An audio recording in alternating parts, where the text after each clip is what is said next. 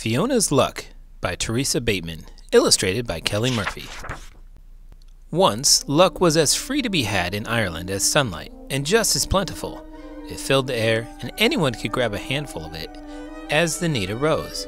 This was largely due to the leprechauns, for they made luck like cows made milk. Then the big folk arrived in Ireland. They were so large the luck clung to them wherever they went. Something will have to be done, the king of the leprechauns declared. We can't have those huge people soaking up all the luck. What would be left for us?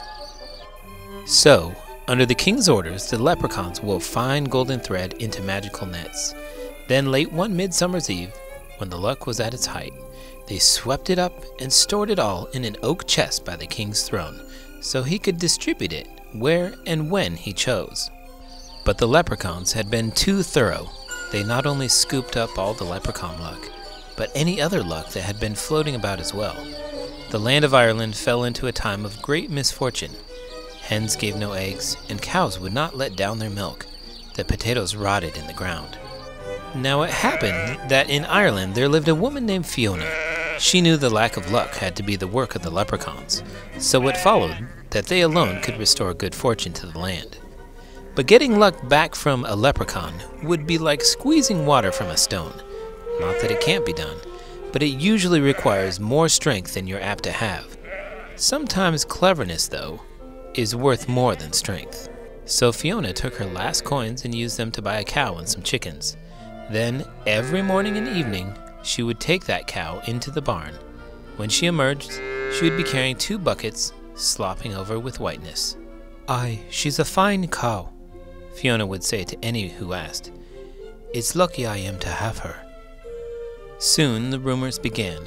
While others were short on luck, Fiona had pails of it.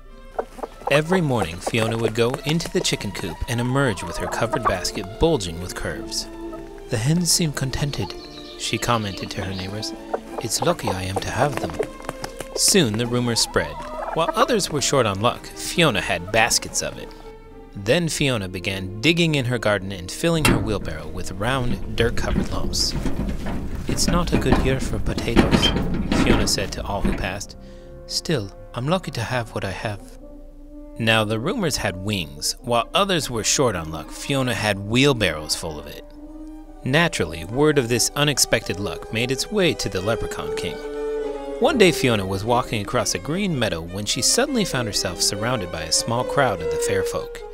In a trice, they grasped the hem of her skirt and ran around her in, a circle. She turned to keep the skirt from wrapping around her knees, and as she turned, the landscape blurred. When it sharpened again, Fiona found herself beneath the earth in the throne room of the Leprechaun King. It was a glorious cavern with rich tapestries hanging against tall granite walls and the floor cobbled entirely of jewels. Torches and candlelight made everything sparkle, and music filled the air. In front of Fiona stood the throne, and on the throne sat the Leprechaun King. He beckoned to her. Fiona approached, her eyes scanning the room for the missing luck. She was sure as smoke loves fire that the king would be keeping it close to himself. As she curtsied, she spied the oak chest. It was glowing slightly, sealed by a spell, since everyone knows that no lock can hold luck for long. What would you be wanting of me? Fiona asked politely. The king scowled. Where are you getting all your luck? Who's been giving it to you and why? he demanded. Fiona's eyes widened in innocence. I have no luck, she declared. Indeed, here I am, a captive of the leprechauns. If that's luck, you can take it. So you claim you have no luck? the king inquired, raising an eyebrow. Well, let's put it to the test. And when I prove that you've lied to me, as forfeit, I'll take all the luck you have and put it with the rest that I guard. His eyes flickered toward the chest. Fiona frowned. That's a sorry bargain for me, she said. Yet I know the rules. If a test is to be made, then a forfeit must be paid by the loser. I haven't lied, so when I'm proven truthful, I demand a wish as your forfeit. The king's eyes turned shrewd. Agreed, he said slyly. I'll give you a wish for exactly the value of the luck you have if my tests prove me wrong. Fiona knew she was being cheated. A woman with wit, though, can turn even a leprechaun's cleverness against himself. She glanced at the chest and then, barely keeping a smile from her lips, nodded. So the agreement was made. At the king's gesture, one of his magicians brought out a low table and placed upon it three beautiful shells. Under one, he hid a small gold coin. Then he whisked the shells around and over and under in a blur no human eye could follow. Now, the king said, where's the gold? There was one chance in three of her picking correctly, and a person with good luck would find the gold every time. Even a person with a little luck would find the gold occasionally. But though they played the game over and over again, Fiona could never locate the coin. It was as if she had no luck at all. Another test, the king ordered. A leprechaun harp was brought forth. Now, leprechaun instruments make music by the luck of the player. A person with good luck would be able to play something just by stroking the strings. Even a person with just a hint of luck could probably figure out a simple melody. But in Fiona's hands, the strings went out of tune, and no matter how she stroked and plucked, nothing but ear bending noise resulted. The king shuddered and frowned. Could he have been mistaken? Perhaps the last test would prove him right. Bring out the chess set, he demanded. He and Fiona faced each other across the board. The king made his opening move. Nobody could hope to beat the Leprechaun King, for he was steeped in luck. But a person with good luck could last a while against him.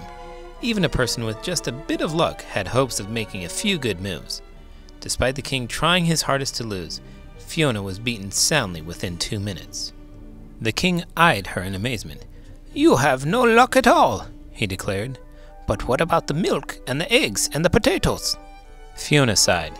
If I fill my milk bucket with whitewash or my egg basket with pine cones, or my wheelbarrow with dirty rocks, surely that's my own business. I told you I had no luck, and I didn't lie. Now take my wish and be on my way. The king nodded slowly. Indeed, I did promise you a wish, but for exactly the same value of the luck you actually had. You've proven to me that you have no luck at all, so that's all you can wish for. Nothing! He smiled at the cleverness of his reasoning, all well within the limits of leprechaun law. Then his smile wavered, for Fiona was smiling too. So I can wish for nothing? she asked. He nodded, puzzled. Then I wish for a hole, Fiona continued. A hole is nothing after all, and that's exactly the value of my wish. I wish for a hole that will never go away, and I wish it to be the lid of that chest. She pointed to the chest of luck by the king's throne. The power of a wish, rightfully earned, is not to be denied. A hole appeared in the chest, and luck began escaping immediately. The king howled with rage, but what could he do? He had made a bargain was forced to keep it. With an angry wave of his hand, Fiona was whirled away. When she opened her eyes, she was back in the meadow, the sun just rising over the hills. If there was an extra sparkle to the sunshine and the grass glowed greener than before, well, it was only to be expected. And that is why, from that day to this, you'll always find some luck roaming free around Ireland. For the hole is still in the chest, and the king must keep his promise. But as Fiona, well, as she herself said, luck's all well and good, but myself, I'd rather depend on my wits.